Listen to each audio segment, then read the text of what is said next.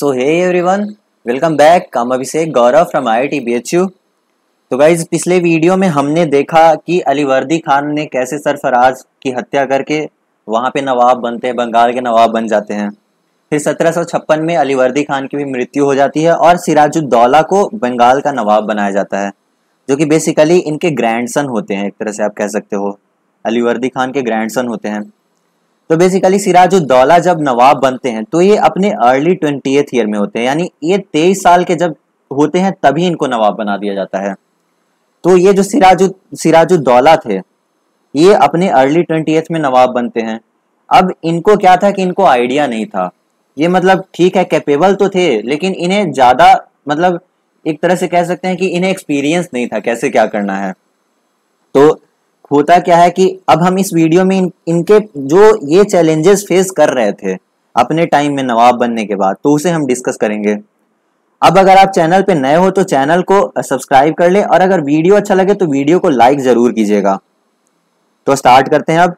तो बेसिकली ये अपने ट्वेंटी में जब नवाब बनते हैं तो ये बहुत सारे ट्रबल्स अपने ग्रैंड फादर से लेके आते हैं। ट्रबल्स मतलब बहुत सारा मतलब इनको परेशानियाँ होती हैं कुछ कुछ जो इनके ग्रैंड फादर से ही इन्हें मिलता है इनहेरिटेंस में मिलता है, एक तरह से आप कह सकते हो। अब वो ट्रबल्स क्या क्या था?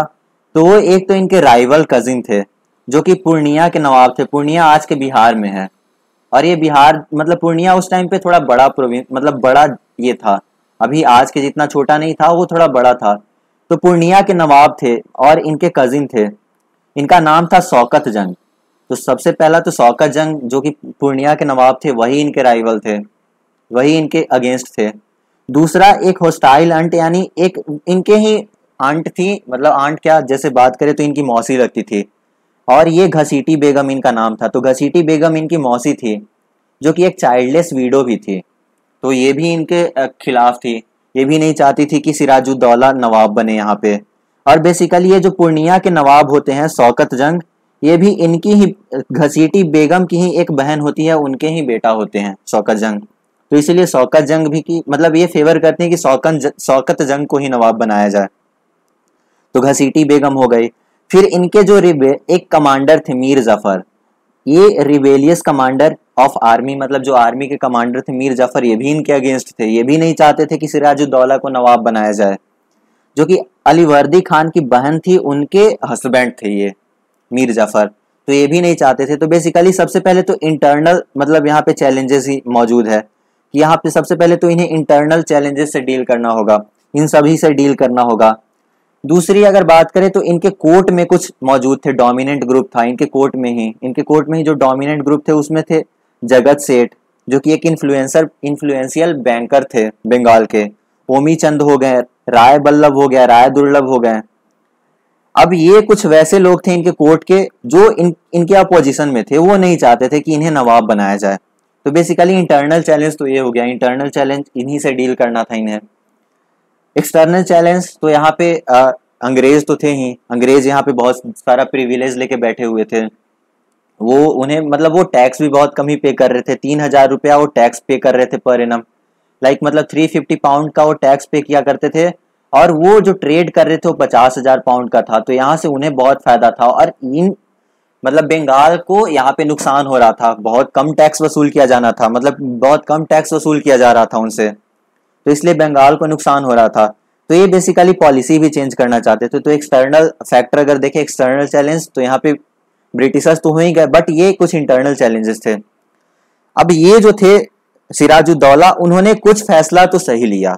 मतलब इंटरनल चैलेंजेस से डील करने के लिए बट वो कुछ में नाकाम रहे। तो जो फैसला उन्होंने सही लिया, सबसे पहले तो शौकत जंग को इन्होंने हराया। एक बैटल में शौकत जंग को हरा के इन्हें मार दिया गया शौकत जंग को। फिर मीर जाफ़र, जो कि आर्मी कमांडर यहाँ पे थे कमांडर ऑफ़ द आर्मी थे, उन्हें डिसमिस कर दिया गया और मीर जगह, मीर जाफ़र के जगह पे मीर मैदान को अपॉइंट किया गया। तीसरा, एक काश्मीरी ऑफिसर मोहन लाल थे। इनको ओवरऑल एडमिनिस्ट्रेशन के लिए अपॉइंट किया गया। लाइक like, मतलब प्राइम मिनिस्टर की तरह इन्हें अपॉइंट किया गया। तो कुछ जो चैलेंजेस थे वो तो इन्होंने सही लिया। दूसरी बात करें तो घसीटी बेगम को भी इन्होंने कैद कर लिया। इसे इन्हें भी बंदी बना दिया गया ताकि ये फिर से विरोध ना करें।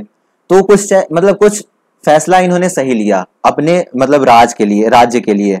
तो कुछ तो फैसला सही लिया बट कुछ फैसला ऐसा था इनका जो मतलब ये सही नहीं कर पाए, जिनके कारण मतलब कुछ नाकामियाँ इनमें रही, जिनके कारण फिर बाद में हम देखेंगे कि ये जो डोमिनेंट ग्रुप थे और ये जो मीर ज़फ़र थे, इन्होंने ही ब्रिटिशर्स का साथ दिया और बैटल ऑफ़ प्लासी हुआ।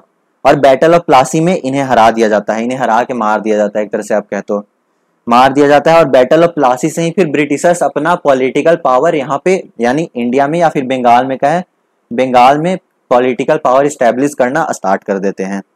तो ये कुछ चैलेंजेस थे, जो हम मतलब सिराजुद्दौला ने फेस किया, जिसके बारे में हमने बात कर ली। अब नेक्स्ट वीडियो में हम बैटल ऑफ़ प्लासी देखेंगे, कि वो कैसे बैटल हुआ। सो आई होप आपको वीडियो अच्छा लगा होगा। अगर वीडियो अच्छा लगे तो लाइक ज़रूर करें और चैनल को भी सब्सक्राइब कर लें। So thanks for watching